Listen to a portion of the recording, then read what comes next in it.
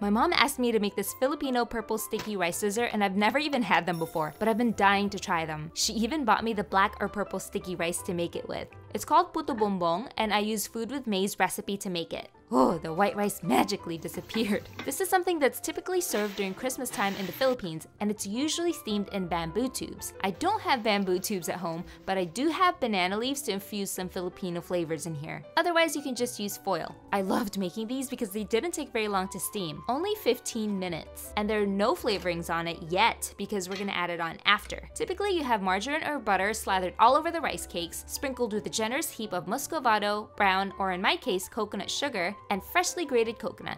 I only have sweet dried coconut though. I was so excited to try this. This is like a little bit chewier than other rice cakes I've had. This only gets as sweet or buttery as the amount of butter and sugar that you put on top. Mmm, it's really good though. Hope you try making this at home.